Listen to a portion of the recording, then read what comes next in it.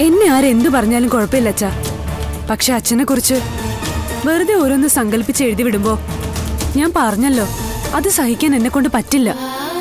അമ്പാടി ഈ ലോകത്ത് എന്റെ അമ്മയെ പോലെ തന്നെ ഞാൻ അമ്പാടിയെ സ്നേഹിക്കുന്നുണ്ട്.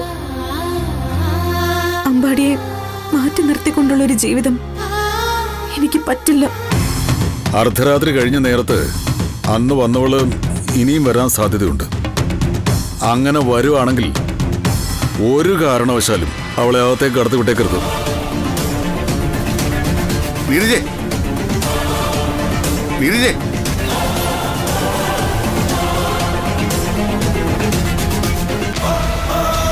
ഇനി എങ്ങോട്ടാണോ എന്തോ പോയിരിക്കുന്നത്?